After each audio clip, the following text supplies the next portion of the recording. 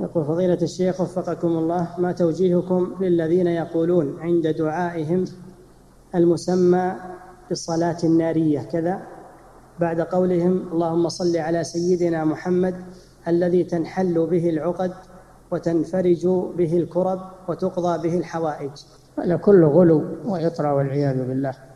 النبي صلى الله عليه وسلم علمنا كيف نصلي عليه. قال قولوا اللهم صل على محمد وعلى آل محمد كما صليت على آل إبراهيم إنك حميد مجيد وبارك على محمد وعلى آل محمد كما باركت على آل إبراهيم إنك حميد مجيد.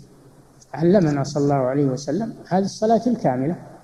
وإذا قلت صلى الله عليه وسلم أيضا فهذا مشروع لأن الله قال يا أيها الذين آمنوا صلوا عليه وسلموا تسليما. فأقل شيء تقول صلى الله عليه وسلم. نعم.